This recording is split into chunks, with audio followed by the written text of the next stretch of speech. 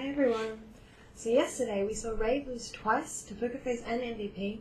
However, I'm pretty surprised at the lose to Pokerface. I don't know what Boogie was really thinking with that Spectre pick. I checked in our game about the 5 minute mark and he had something along the lines of 3 CS, and by the 15 minute mark he was scaling just a tiny bit above the supports in net worth. I do wish they would draft a more semi-carry hero to sort of suit his playstyle, but you know, whatever, I guess. we'll have to see more games from Rave to see if they're going to play to their strength or if they're going to continue to try new things. But for today, there's only one game, which is First Departure versus Arrow.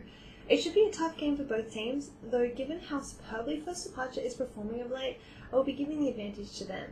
Arrow has been going in and out with her play style since the loss of Johnny, and I think stability will be key in this game, given First Departure's amazing ability to play late with Miracle.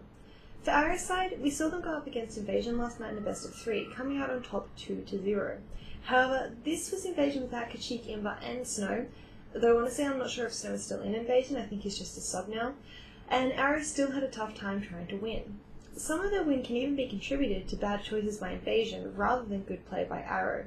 You can see how shaky they are in the moves at some points, and while DDZ is performing amazingly as always, uh, being the solo player of the team gives them a lot more freedom. The other three are sort of relying on MTR to follow their lead or following the lead of MTR, which sort of shows a lack of stability.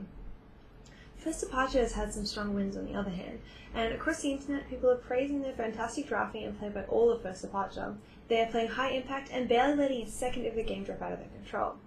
I think especially the two supports of First Departure, Lovey and Kai, have been just waiting for Miracle to return to them, as their play is especially tuned to him given their team for such a long time. While Scythe had its good points, I think their biggest weakness was the lack of support, especially that strong support combo like we see in First Departure, and the impact it has had on Miracle's potential over the past week. All in all, I think this is First Departure series. It's a best of five, so I wouldn't be surprised if Arrow do pull a few tricks out of their sleeve and grab a game or two, but I strongly believe First Departure is going to continue their amazing play and take the series home. Either way, good luck, have fun, and see you tomorrow. Bye!